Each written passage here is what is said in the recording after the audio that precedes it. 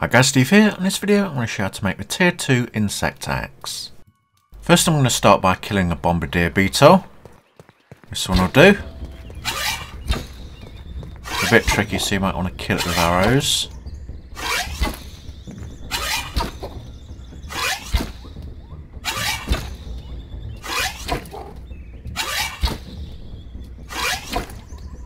Almost there.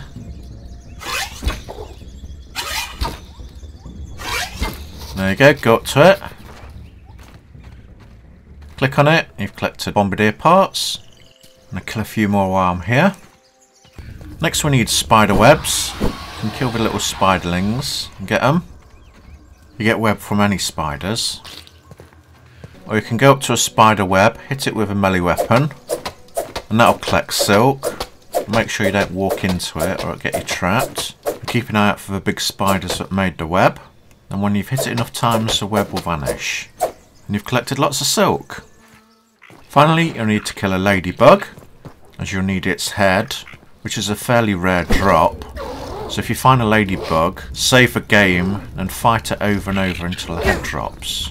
There's a little trick, I'll fight it with my mint mallet. Little git got me. I shall have my revenge. There we go, we've got a ladybug head. Next go back to your base, to your workbench, click on workbench tools, click on insect hammer, we've got all the ingredients, and craft.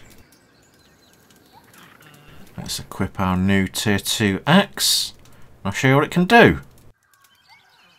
For starters, it's much faster at cutting down grass. Like so. And dandelions.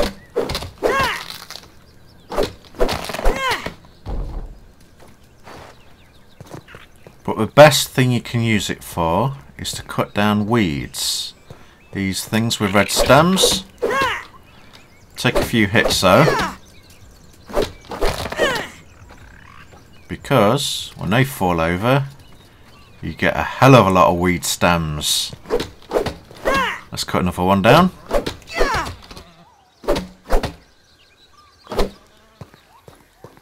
The bigger the weed stems, the more hits it takes. As you can see, this one's a tough one. There we go. Look how many weed stems come from that one. That's quite a bit better, isn't it? With all those you can reinforce your base.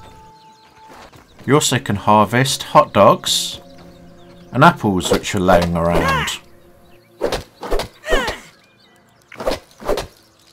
These give you apple bits or hot dog bits, depending on what you're harvesting. There you go, your tier 2 insect axe. If you found this video helpful, please like and subscribe if you've not already, and click the bell icon to get notified of when I upload next. There's links to other videos at the end. Comment on what you would like to see. Thanks for watching, and hopefully I'll see you again. Goodbye!